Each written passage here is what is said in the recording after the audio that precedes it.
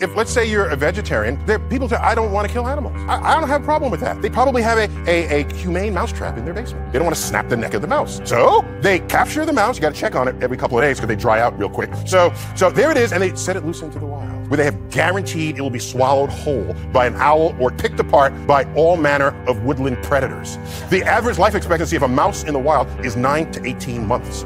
So the best thing you can do with a mouse is leave it in your basement. It'll live up to six years there. That's how you protect the life. But that's not what they're doing. Meanwhile, the house is made of wood from 50 trees with floorboards and 2x4s and structural members and, and trees. Each tree every day produces 15 times the mass of the mouse in oxygen. And the tree is home to birds and insects and fungus and, and squirrels. Who do you think nature cares more about, your mouse or the tree? And you'll say, well, the mouse has a beating heart, tree doesn't. Maybe the tree doesn't need a beating heart. That's your criterion for what's important? If you cut a tree, does it not bleed? If you cloak a tree, does it not suffocate? If you cut off its nutrients, does it not wither and die? And some trees live a thousand years. The giant sequoias in the Pacific Northwest. Oh, but you're gonna cut them all down, build your house, and save a one ounce chubby mouse.